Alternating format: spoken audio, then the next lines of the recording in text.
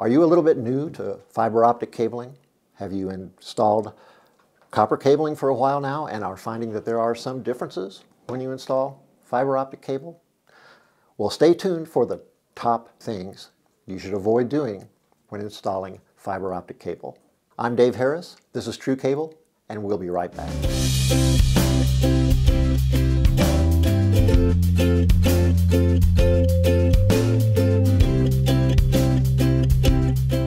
Number one is don't cut the cable. Okay, yeah, you have to cut the cable. Don't cut the cable dot dot dot too short. You need not only the distance for your run, you need to think about vertical distance as well as horizontal distance. You need to think about curves in the uh, cable path, any other irregularities in the cable path, and you need to account for uh, service slack on both ends. So plan ahead and don't cut your cable too short. And while we're talking about cutting cable, don't cut your cable, dot, dot, dot, without adequate safety measures. I've got my nice Kevlar cutters here. They will cut right through this distribution cable with no problem, but I'd better not do it without eye protection and airway protection because little bitty tiny shards of glass will be released when I cut this.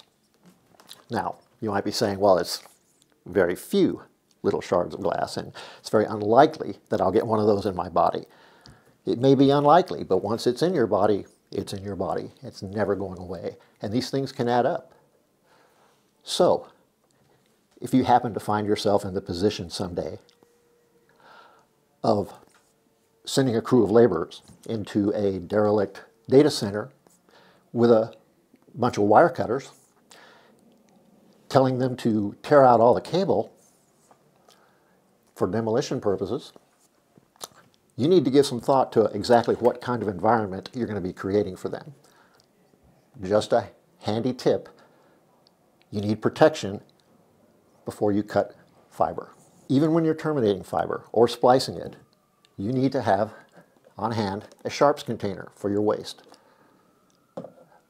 Very dangerous. Look up, know the safety precautions for working with fiber, and use them.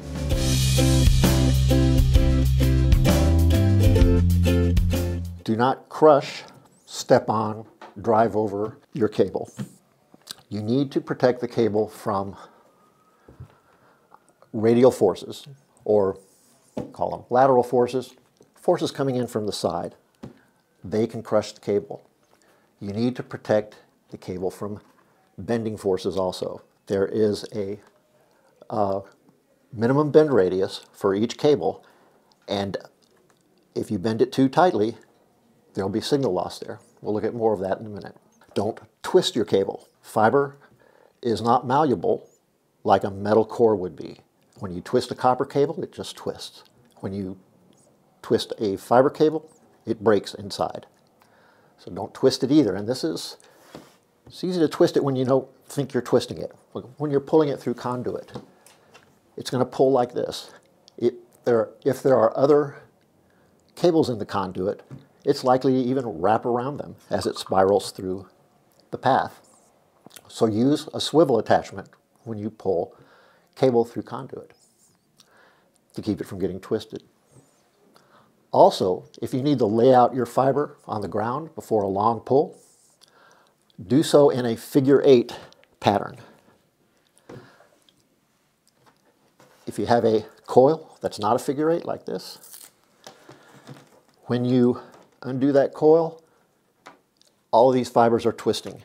They're twisting now as I pull this apart. If this were in a figure eight arrangement, then every time I pulled one coil, the next coil would go in the opposite direction, preventing the cable from being twisted. So always use a figure eight pattern when you lay out your fiber optic cable. That prevents twisting.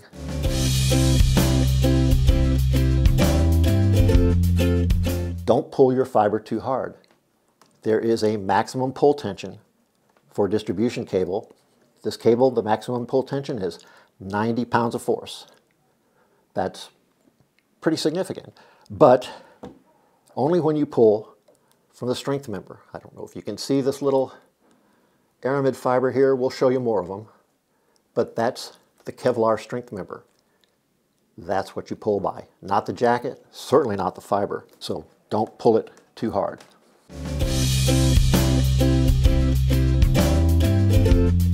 Here's one a lot of people aren't really prepared for or familiar with, especially those who might be new to pulling fiber cable. Don't use discontinuous pathway types, such as D-rings, like these, uh, bridle rings, J-hooks, even ladder rack and basket tray are not suitable for fiber optic patch cords. Now, if your fiber is armored, that's different. But if it's a fiber optic patch cord we're talking about, this type of pathway is not acceptable because it's often impossible to protect it from excessive bend radius. So when it happens, you can see from this light that's escaping the fiber as it's drawn over this post, this rod, that light is escaping the fiber. That's signal loss. But it turns out that with this type of system, you don't even have to bend the fiber. Just a little lateral force, and you can see that light is escaping. So, okay, as long as it's just sitting here, no problem. You have to put that lateral force on it. Well, what about when somebody comes along after you, throws in a bunch of heavy cables? You have no control over this, somebody coming after you and doing this. The weight of these cables is going to push down on the fiber and cause signal loss. So don't use this type of pathway, but also don't put your fiber optic patch cords in the same pathway as heavy copper cables. I know many of you are already doing this all the time. If we only have one pathway, how do we separate them? Well, that's a job for interduct. Interduct is just a plastic tube that is uh, corrugated, very flexible. And as I think you can imagine, these copper cables are no match for this. I can't crush it by hand. So this will, this will protect your fiber optic patch cords. And this is the way to do it if you don't have a dedicated pathway for your fiber optic patch cords. This is useful in basket tray and ladder rack, but also inside cabinets where crushing forces are often not realized. If you have fiber and copper cables populating a big cabinet and have to push those uh, uh, copper cables back in order to get the door closed, chances are you're crushing fiber someplace. So use interduct for that.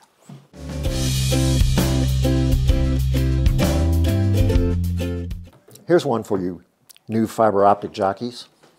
Your fiber optic patch cord, don't ever uncover the end face. Well, of course you have to. The end of that sentence is don't ever cover your end face without cleaning it. It's clean. Every single time you uncover one of these faces, whether it's a brand new patch cord or not, you clean it. Every time you pull it out of, an, of a uh, jack or an SFP, you clean it. This needs to be something you practice so often that it's habit, that you do it without thinking of it. You carry this around with you all the time and clean every single one, even the new ones, right out of the bag. Make it a habit.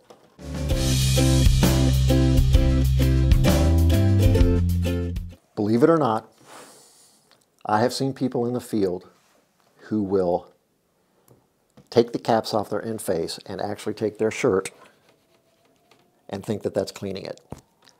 That's not cleaning it. That's putting dirt on it. You need one of these.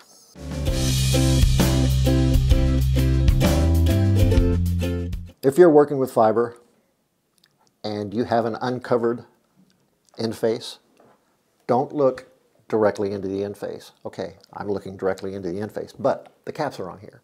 If the caps are off, don't look directly into the end face.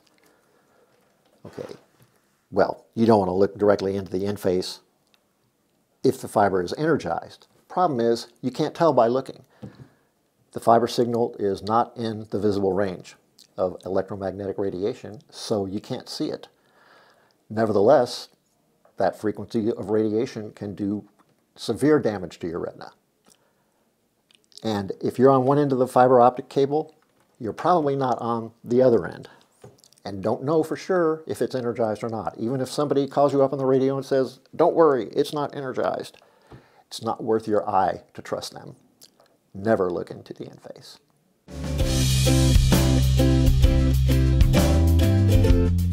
Finally, don't throw your fiber optic cable around.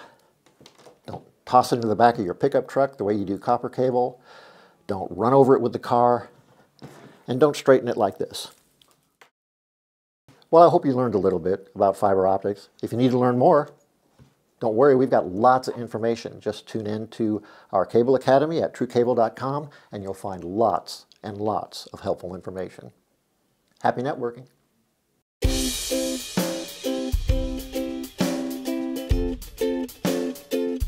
I hope you enjoyed that fiber video. Interested in learning more? Please check out either our Cable Academy up here, and if you really want to see more, check them out here.